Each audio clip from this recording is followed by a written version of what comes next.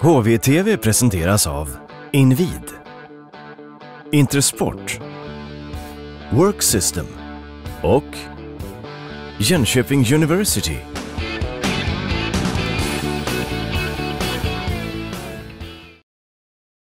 Tillbaka i Kinnarps arena, dock inte i HV-tröja, men än tillbaka på Kinnarps is. Här är Linus Söderström. Linus, eh, berätta, vad gör du här?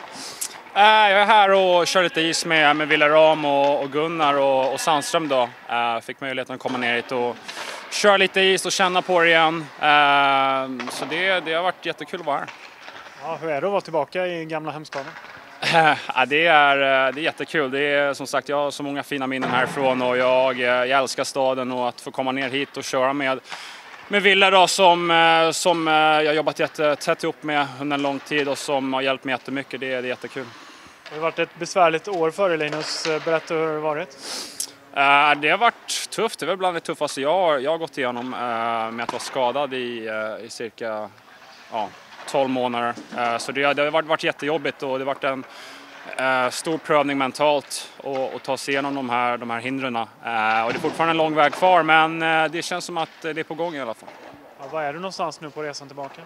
nej, men jag har ju kommit långt. Jag menar i augusti då, då var det stilla, då låg jag bara hemma för jag hade så ont och nu jag menar, kan jag vara på is och, och köra gym och visst det är upp och ner ibland men äh, i alla fall tillbaks till, till rätt vanlig isträning igen så det, det, det betyder ju jättemycket. Vad är planen nu då framöver?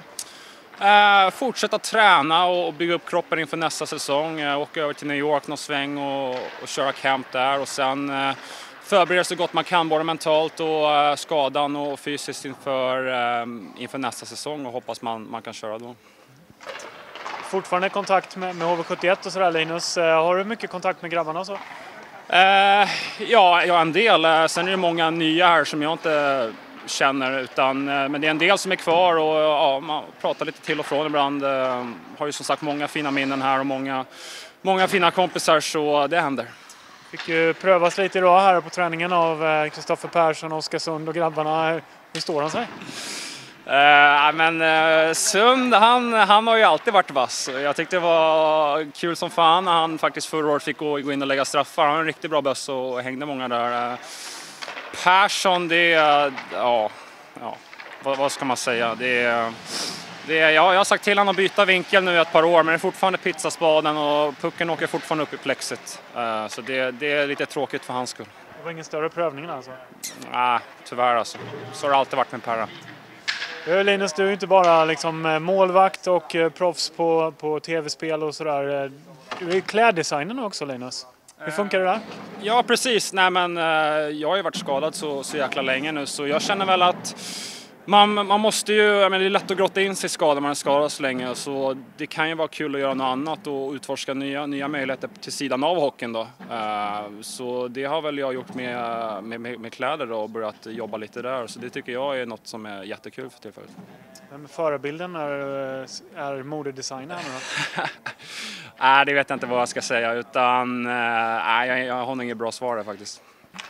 Det blir spännande att följa det där Linus. Eh, om vi följer HV71 då. Eh, du har ju följt dem eh, såklart under säsongen som varit. Vad, vad, kan du tro om HV nästa år? Jag tror att det kan gå väldigt bra för HV. Jag menar förra året så försökte jag följa så mycket som jag kunde och det var ju tyvärr så var det väldigt mycket upp och ner då. I sina bästa stunder då kunde man ju lätt ha gått till final och utmanat om guldet. Tyvärr så var det kanske lite mycket upp och ner. Men jag tycker att eh, det är många kvar här från min tid och det är näst, i princip samma stomme och de vet ju vad som krävs och det är ju toppspelare i ligan. Så jag menar, jag tvivlar inte en sekund på att HV nästa år kan, eh, kan vara med och utmana återigen.